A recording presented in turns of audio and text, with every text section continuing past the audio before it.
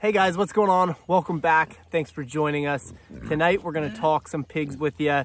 We're going to give you an update on what's going on with our pigs. For those of you that have followed along on our channel, well, you know about a, um, six, seven weeks ago, we'll call it, we made an agreement with a local brewery here in Eastern Pennsylvania, picking up uh, some brewer's grain. It turned into a weekly thing for us. So we want to kind of fill you in on what's going on here as far as what type of growth these pigs are putting on, how this brewer's grain is working out for us, and really the big one, how much money we're saving by using this and, and being lucky enough to, to have this pickup weekly. So let's dive into it a little bit for you. You can see Ziggy here behind. He is caked in mud. It's hot here, so he's been kind of laying in the mud that he can find, and this actually isn't even bad for what it was before.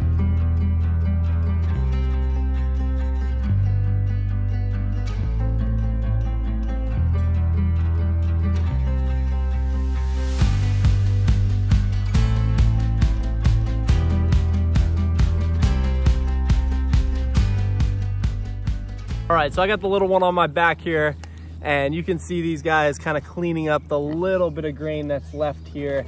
We are primarily feeding brewer's grain at this point.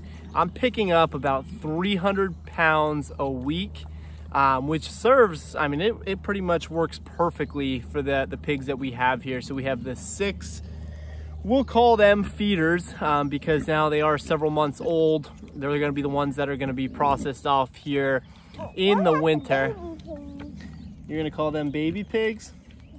All right, we're going to call them baby pigs, she's telling me. Um, but they are several months old, so bear with us there. Um, Ziggy and Betsy are our two breeding pair, our boar and our sow. They're going to stick around with us for a while. So call it eight pigs total baby pigs They are. They're getting really big. Yes, they are. So eight pigs total, um, and 300 pounds a week. I mean, it's we're obviously feeding in regular um, grower feed as well, but this is a bulk of what we're feeding them at this point, um, 300 pounds. And the pigs are putting on a good size to this point. These guys are American Guinea Hog and Hampshire crosses. So they're gonna be a slower grow pig.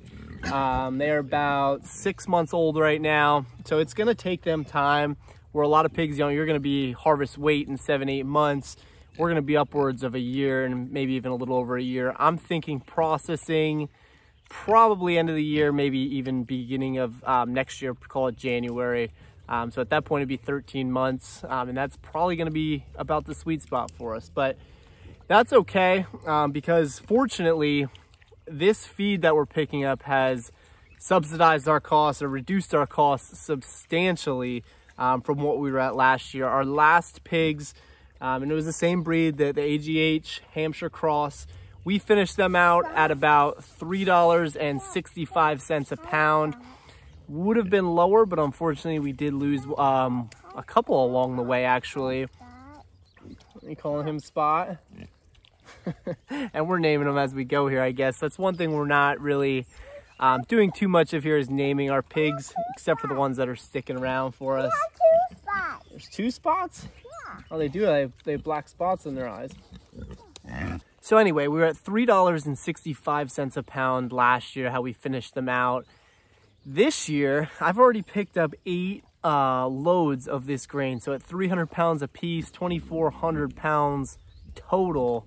I mean, that's that's a lot of grain. That's definitely going to, to pull your costs down substantially. Now, it is really, really difficult uh, to kind of compare the nutritional value to this stuff versus your traditional hog grower mash or whatever it is, your pellets.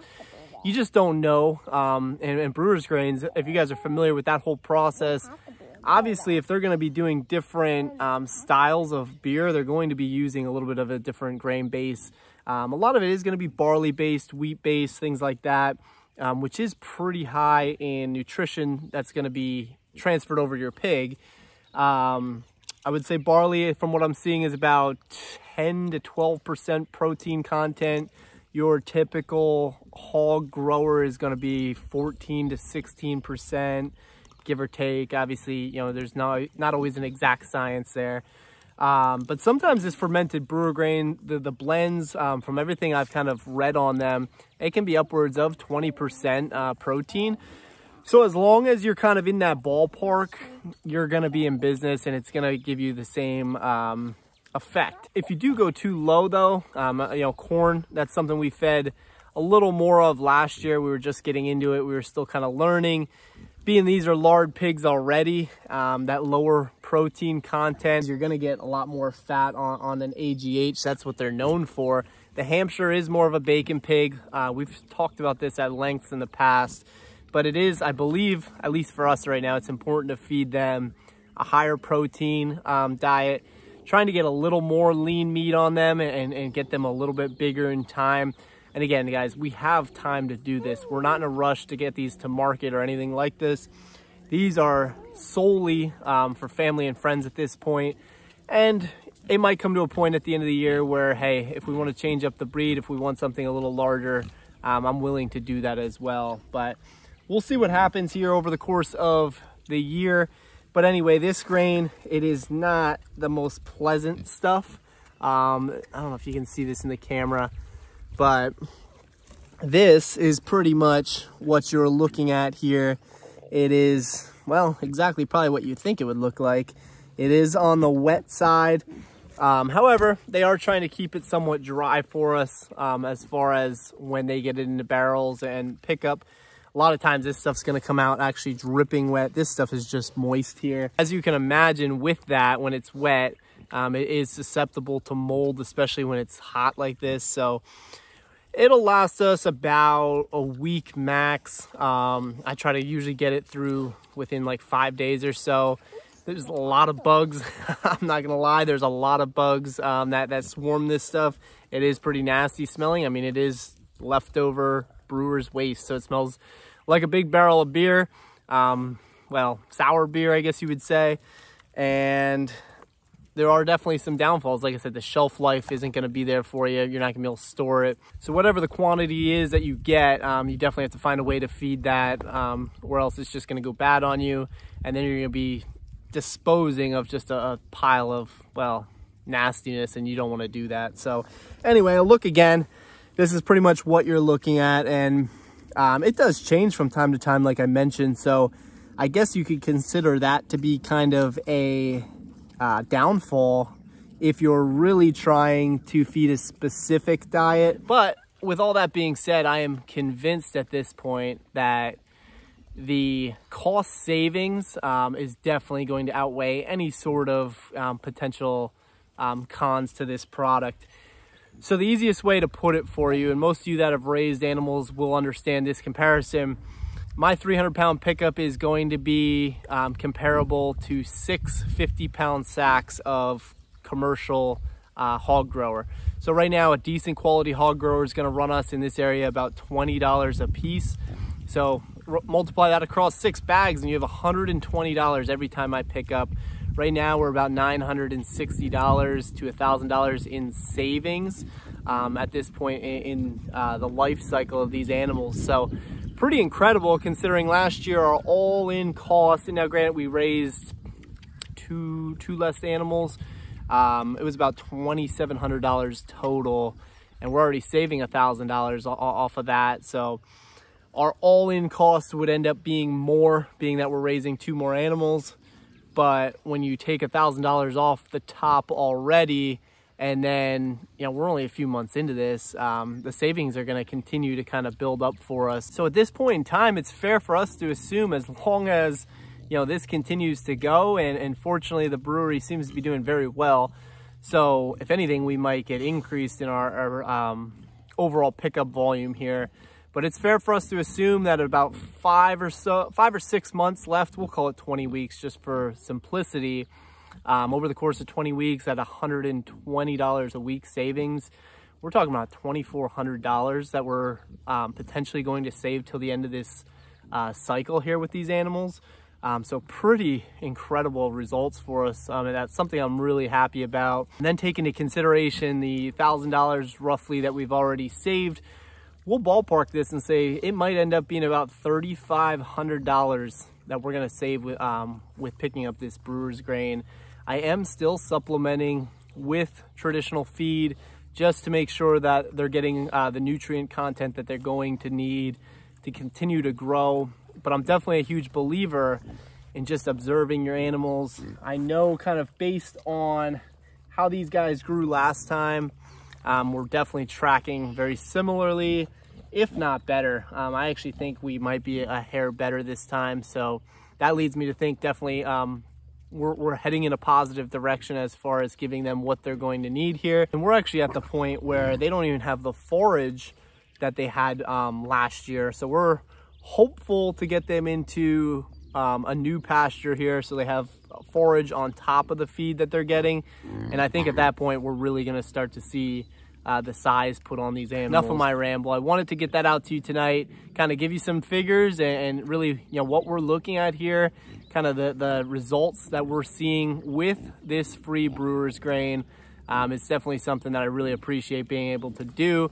Um, and I also think it's awesome that, you know, it's a waste product for another business that they quite frankly have to pay to get rid of because it's a lot of volume.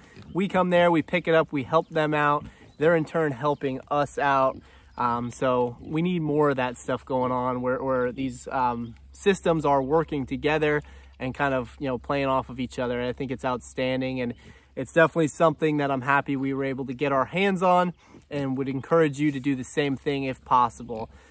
I understand it's definitely a challenge to find people that are willing to do it, um, and a lot of it is spoken for. I've I've talked to numerous uh, breweries and distilleries before I got a hold of this one, um, so it's definitely a challenge. It's definitely become a popular thing, but there's other ways to do it. You know, there's other ways to find sources of scrap food that would otherwise be thrown away.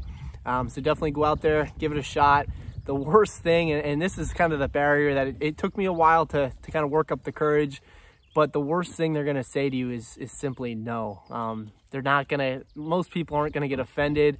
You might have some people that look at you a little funny, but at the end of the day, um, it's just gonna be a no one way or another. So once you get past that, well, then you just start, you know, firing away and eventually, eventually you'll, you'll get a yes. It might take 50 of them, but you'll you'll definitely get a yes. And when you do finally get that yes, this one's very important. You show up when you say you're gonna show up and you show that you can be trusted um, at their facilities or whatever it is.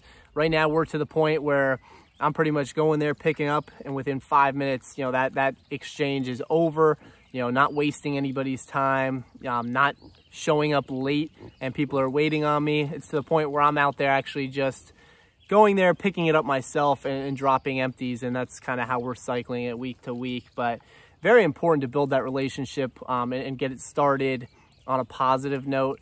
Um, because it, at the end of the day, if you're going to burden somebody, they're not going to want to give, you know, free product to you either. So just some things I've learned um, in this short time, and I hope this helped you guys.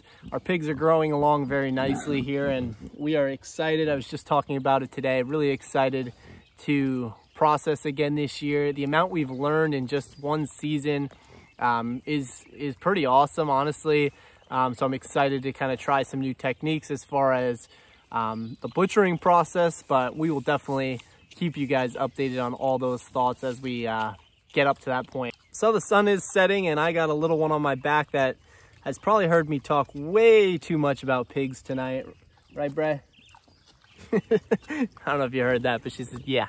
So we'll say goodnight to the pigs and we will be with you guys soon. If you like what we're doing, as always, please consider hitting that thumbs up. Please consider subscribing to the channel.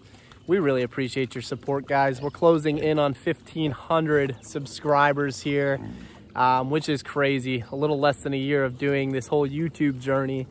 And we're having fun with it. We just come out here. We do what we can. We show you guys what we can.